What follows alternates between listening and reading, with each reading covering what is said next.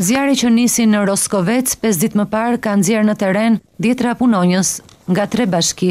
Bilanci i dëmeve është i konsiderueshëm për sa i përket pyjeve në Vlosh, Drenije dhe Lofkënd. Sipas kryetarit të bashkisë Mallakastër, flakët nuk janë shuar totalisht, por zjarri është vënë nën kontroll dhe punonjësit e emergjencave civile dhe zjarrfikësit do vazhdojnë të qëndrojnë në gatishmëri. Punohet me fuqi maksimale të burimeve njerëzore të bashkisë Mallakastër. Aktualisht në terren janë gjashtëdhjetë e dy forca punëtore. Natyrisht ky terren kaq i vështirë e bën të pamundur futjen e mjeteve, kryesisht po punohet me shuarje duke punuar vetë njerëzit në terren.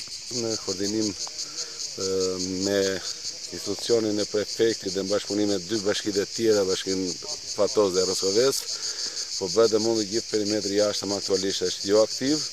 Natyrisht, lënda drusore pisha e cila mundëson periudhën e mbasditës që për shkak të erave riaktivizimin e tyre, na detyron që ta kemi në kontroll të vazhdu. Për të shmangur riaktivizimin e tyre gjatë orëve të pasditës, Dy ditë më parë, zjarrfikësit u ndihmuan dhe nga një helikopter i ushtrisë, por kjo nuk mjaftoi për shuarjen e plotë të zjarrit. Era e fortë, herë pas here, riaktivizon flakët.